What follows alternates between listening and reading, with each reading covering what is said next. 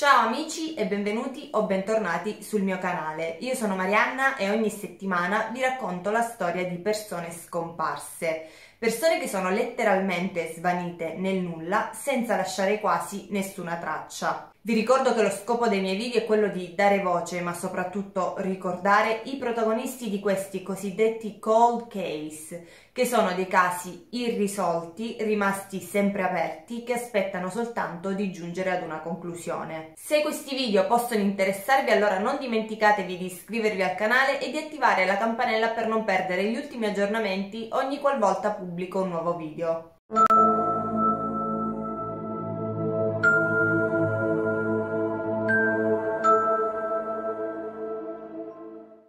Oggi amici vi racconto un caso che chi di voi mi segue da più tempo sicuramente ricorderà che era già presente sul mio canale perché è stato il mio primo video qui su YouTube. Recentemente però ho deciso di cancellarlo perché appunto è stato il mio primo video qui su YouTube quindi ero molto emozionata, non riuscivo a parlare bene con la videocamera per cui non ho raccontato proprio come avrei voluto la storia anche perché è un caso a cui io tengo particolarmente.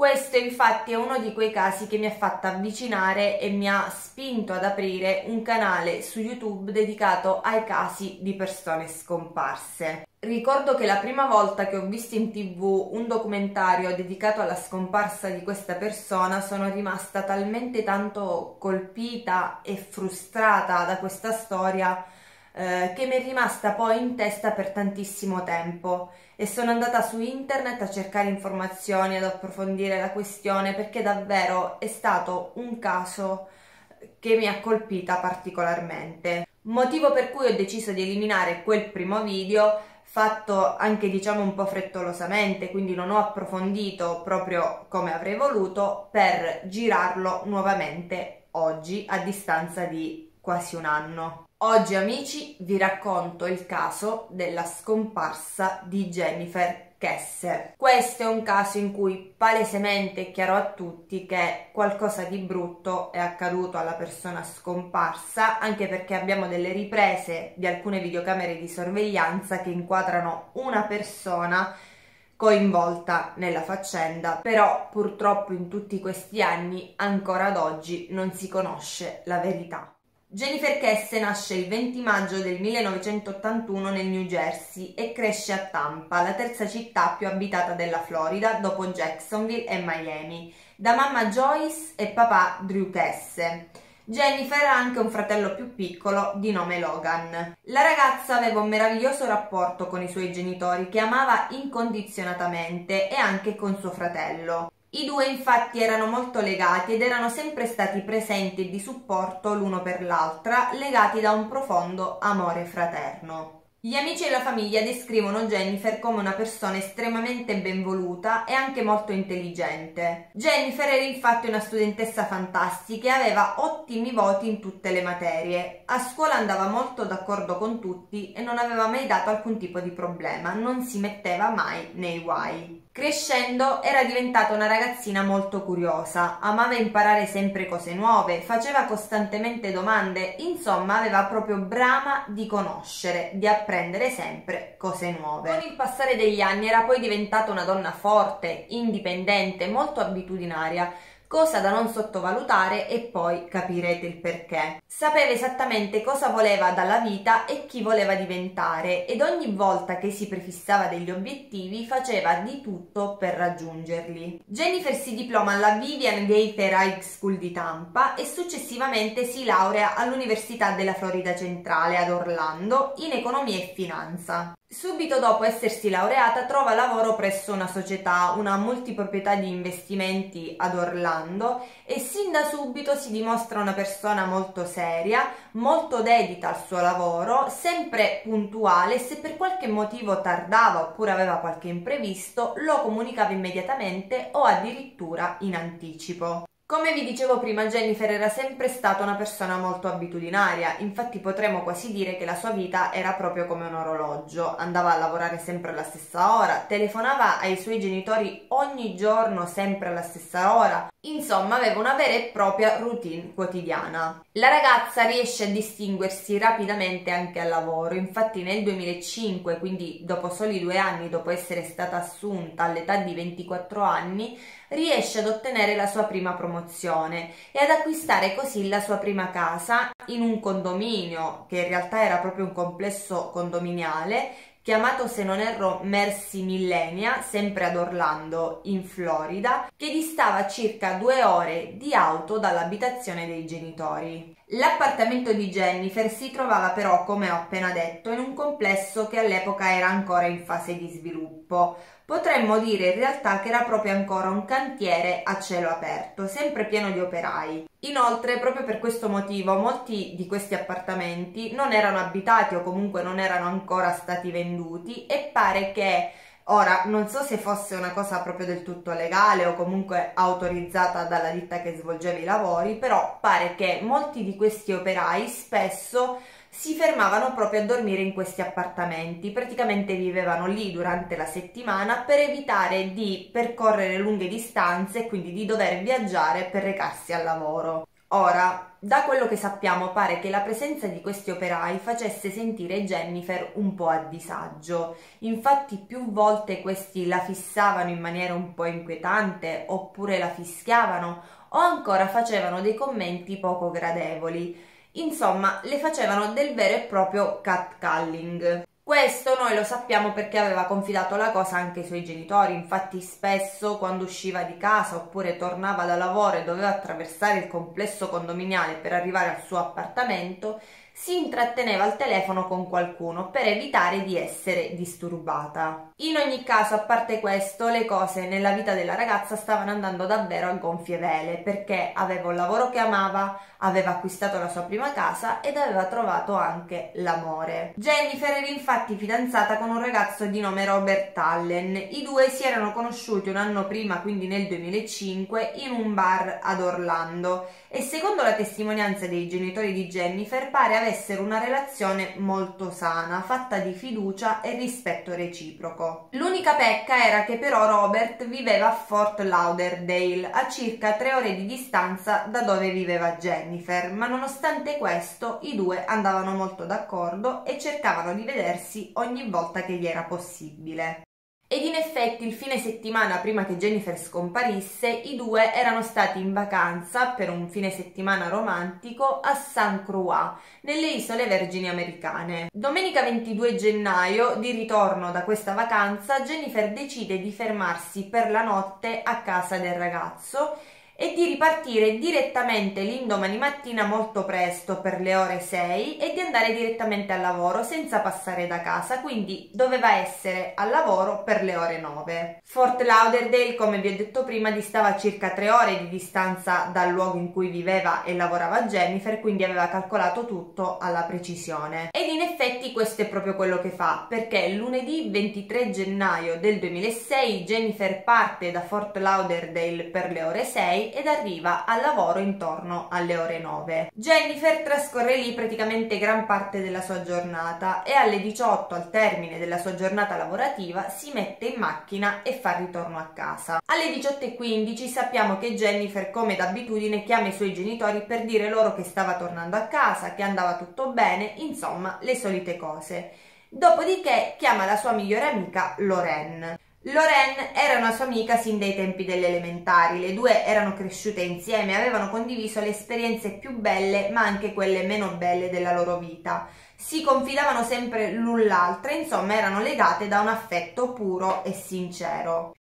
Lorraine successivamente dichiarerà agli inquirenti che quel giorno Jennifer le aveva confidato di essere un po' giù di morale perché era appena rientrata dal weekend romantico che aveva trascorso insieme al ragazzo ed era un po' malinconica proprio perché in quei momenti avvertiva sempre di più la distanza che la separava dal suo fidanzato. Alle 21.56 sappiamo poi che telefona al suo fidanzato Robert per parlare un po' e come sempre ovviamente per darsi la buonanotte. Ora, anche in questo Jennifer era molto abitudinaria, infatti aveva l'abitudine di telefonare al suo ragazzo sempre agli stessi orari, in particolar modo la mattina prima di recarsi al lavoro e poi la sera prima di andare a dormire e quella purtroppo è l'ultima volta che qualcuno sente Jennifer. Purtroppo da questo momento in poi è impossibile sapere che cosa le sia successo oppure in quale preciso momento lei sia scomparsa. La mattina del 24 gennaio del 2006, infatti, come ogni mattina, Jennifer sarebbe dovuta uscire di casa tra le ore 7.30 e le 8 per recarsi al lavoro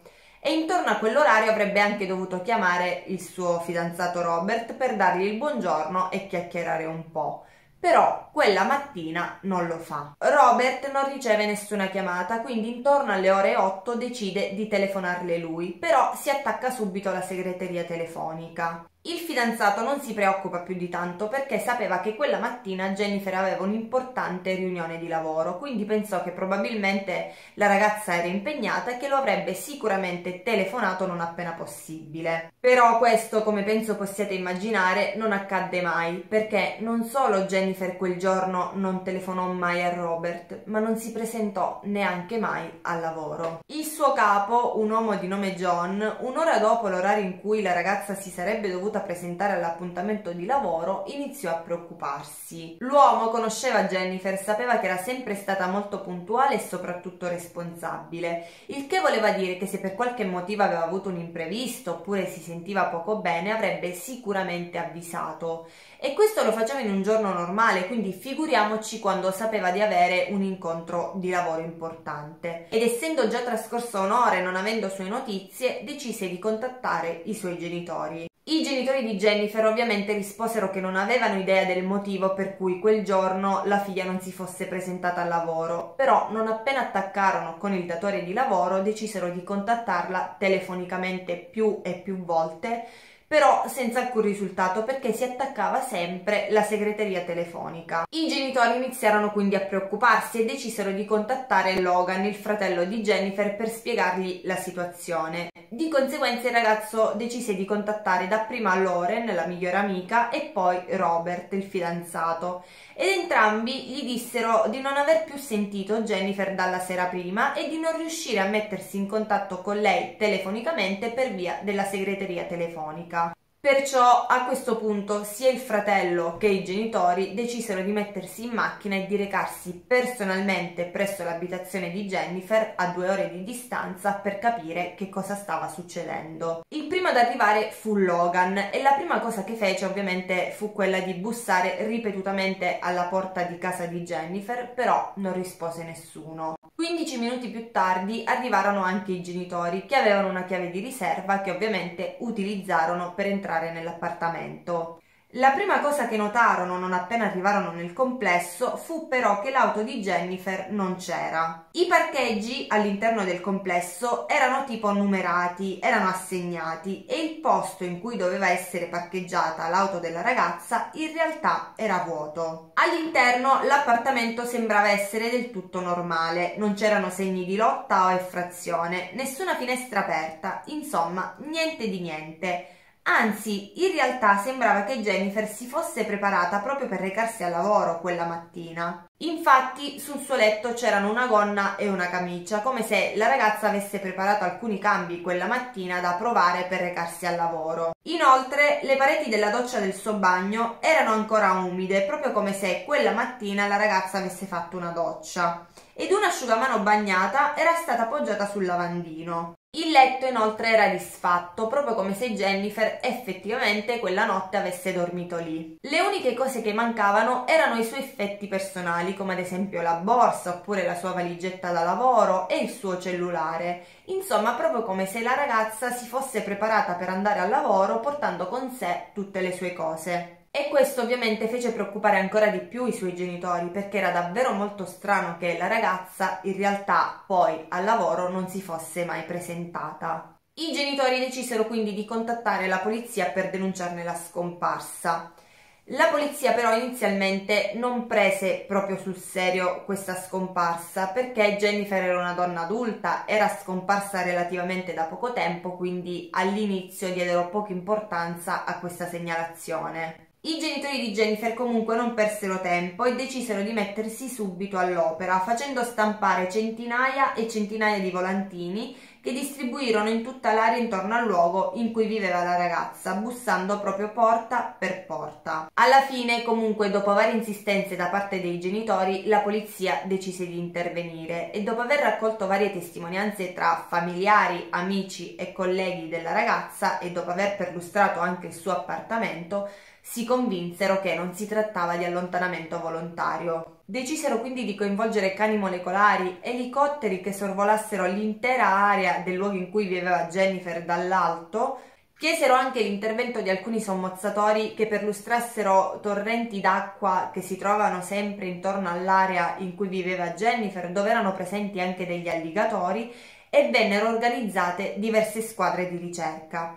Però, nonostante tutto questo, non venne fuori assolutamente nulla di rilevante. I genitori di Jennifer capirono quindi che il solo aiuto della polizia non poteva bastare e quindi decisero di diffondere quanto più possibile la notizia della scomparsa di Jennifer attraverso i media, quindi giornali e telegiornali perché avevano bisogno di spargere la voce in modo tale che se qualcuno aveva visto o sentito qualcosa di sospetto il giorno della scomparsa di Jennifer avrebbe potuto contattare la polizia per fornire loro informazioni utili. Ed in effetti la cosa funzionò perché due giorni dopo la scomparsa di Jennifer un uomo che abitava in un complesso condominiale vicino a quello di Jennifer a circa due miglia di distanza Dopo aver visto il servizio al telegiornale, contattò la polizia per dire loro che un'auto molto simile a quella di Jennifer era parcheggiata all'interno del parcheggio del complesso condominiale. Ed in effetti si trattava proprio della Chevrolet Malibu nera del 2004 di Jennifer. I genitori e gli inquirenti a questo punto erano pieni di speranza di poter riuscire a capire finalmente cosa fosse accaduto alla figlia o magari di ritrovarlo oppure di trovare una qualche traccia magari anche di DNA all'interno del veicolo, ma in realtà la cosa finì per rivelarsi del tutto inutile. L'auto infatti sembrava essere stata letteralmente ripulita, non trovarono nessuna traccia e anche gli effetti personali di Jennifer non c'erano. La polizia però mentre era lì notò che in tutta l'area del complesso condominiale erano presenti alcune videocamere di sorveglianza, alcune delle quali proprio puntate verso il parcheggio. Decisero quindi di visionare le riprese di queste videocamere di sorveglianza e amici miei, preparatevi perché questa sarà la cosa più frustrante di tutta la storia e la cosa che vi farà arrabbiare più di tutto. Nelle riprese delle videocamere di sorveglianza si vede qualcuno alla guida dell'auto di Jennifer che entra nel parcheggio, parcheggia appunto il veicolo e poi rimane in auto per una trentina di secondi. Dopodiché scende dal veicolo e si allontana senza guardarsi mai indietro.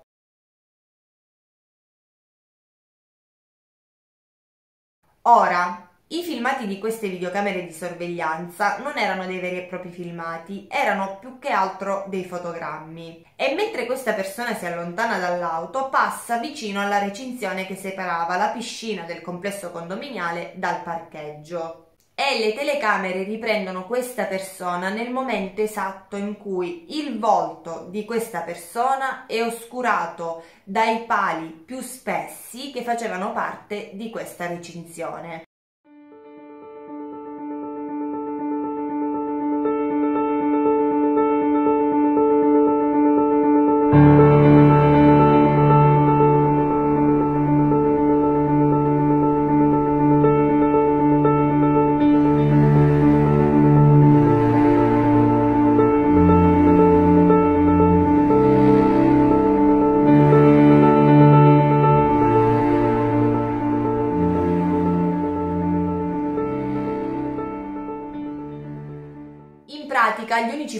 Che abbiamo in cui si potrebbe vedere chiaramente l'identità di questa persona, il suo viso è perfettamente oscurato dalla recinzione. Una roba che se ci provi altre 10.000 volte non ci riesci. Comunque nessuno dei familiari o degli amici di Jennifer ha riconosciuto questa persona, le cui caratteristiche fisiche comunque non erano ben chiare. Gli inquirenti hanno portato i cani molecolari all'interno dell'auto e questi, dopo aver annusato il veicolo, hanno condotto la polizia nuovamente presso il complesso condominiale in cui viveva Jennifer.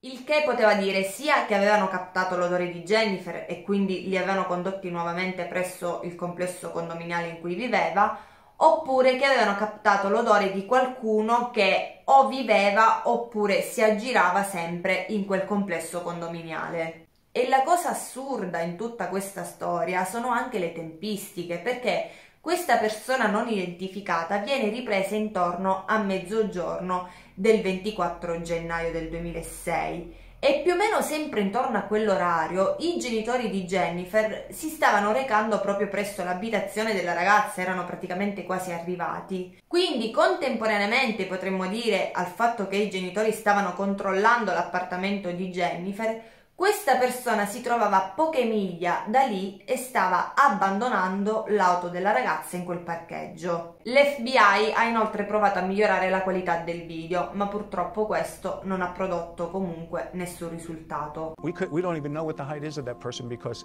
they started, three agencies started arguing about the height of the person.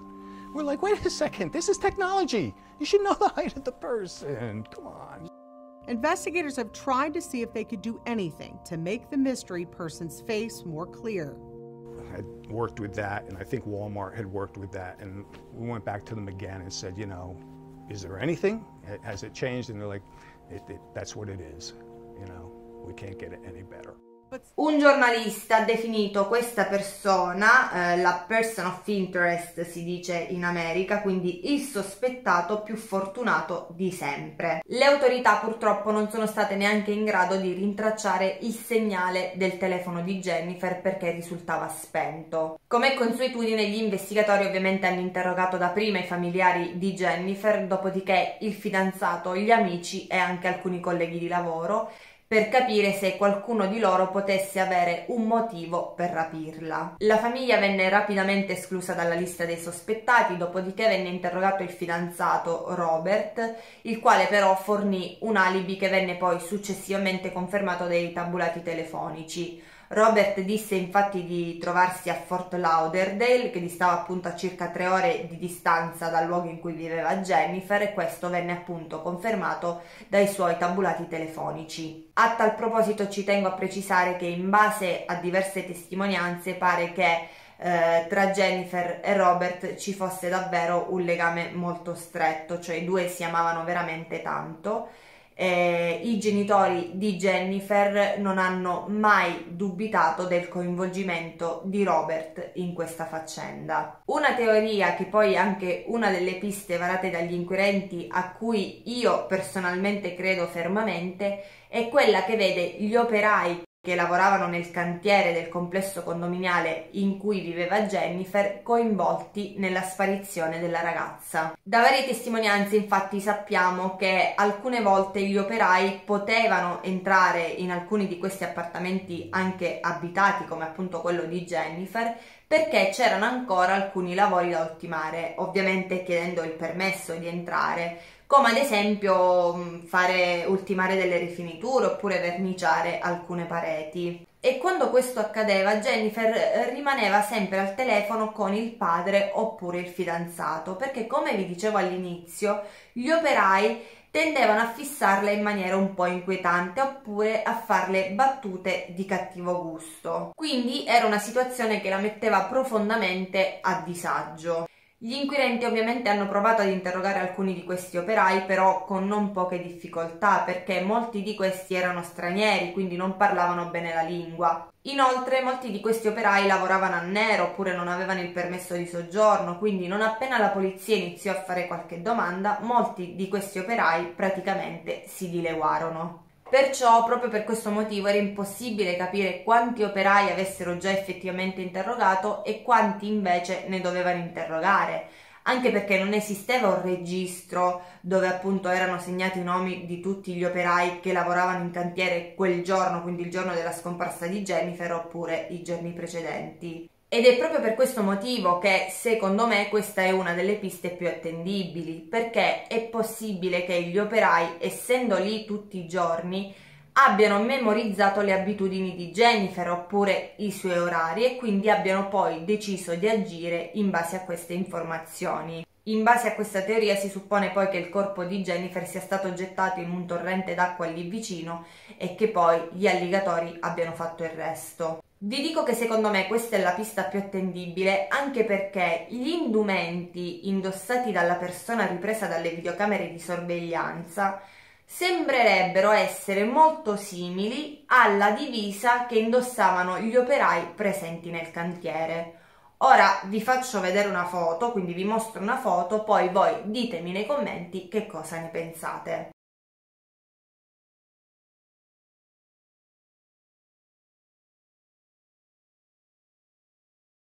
Un'altra pista sembrerebbe poi condurre sul posto di lavoro di Jennifer. Nell'azienda in cui lavorava Jennifer lavoravano molte altre persone e alcuni dei suoi colleghi, secondo le testimonianze, avevano mostrato interesse nei suoi confronti in particolar modo un collega che insisteva fortemente affinché la ragazza uscisse con lui, nonostante i ripetuti rifiuti di Jennifer. La polizia ha comunque interrogato tutte queste persone, anche se, secondo John, il datore di lavoro di Jennifer, eh, gli inquirenti hanno condotto degli interrogatori un po' superficiali, insomma, eh, che non abbiano indagato a sufficienza. Qualche anno più tardi, però nel 2010, una ragazza che lavorava anche nell'azienda ha effettivamente presentato un'ordinanza restrittiva nei confronti dello stesso collega che aveva ripetutamente chiesto di uscire a Jennifer. Anche se da quello che sappiamo non ci sono prove che questo ragazzo abbia commesso qualcosa nei confronti di questa ragazza, ed effettivamente pare che la donna abbia successivamente dichiarato di averlo fatto perché aveva paura che quello che era successo a Jennifer potesse in qualche modo accadere anche a lei. Nel maggio del 2007, quindi ad un anno di distanza dalla scomparsa di Jennifer, la società per cui lavorava ha offerto una ricompensa di un milione di dollari per chiunque avesse informazioni sul caso, però purtroppo anche in questo caso non è venuto fuori nulla di rilevante. L'ultima pista poi che è stata presa in considerazione è quella che vede Jennifer vittima del traffico di esseri umani. La Florida infatti ha uno dei tassi più alti di criminalità che riguarda la tratta di esseri umani. Anche se vi dico il mio parere personale, mh, mm, questa secondo me è la pista meno probabile. È possibile, però secondo me in questo caso è quella meno probabile, ecco. I genitori di Jennifer comunque, nonostante siano ormai passati 17 anni, non si sono mai arresi. Ancora oggi continuano a cercarla e hanno fatto stampare anche delle foto con la descrizione della figlia su un mazzo di carte che hanno distribuito in tutte le carceri della Florida e hanno praticamente fatto tutto quello che potevano fare, però non hanno ottenuto nessuna risposta. Ancora oggi infatti Jennifer risulta scomparsa e non si sa che cosa le sia realmente accaduto. Queste sono tutte le informazioni che ho sul caso di oggi.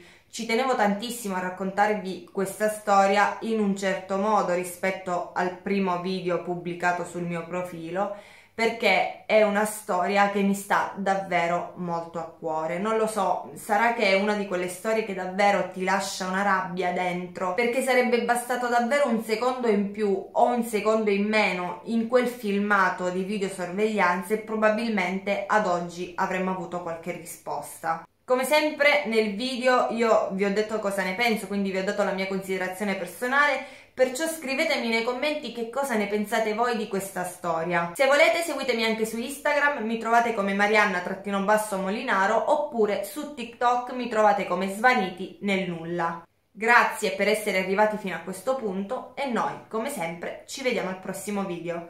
Ciao!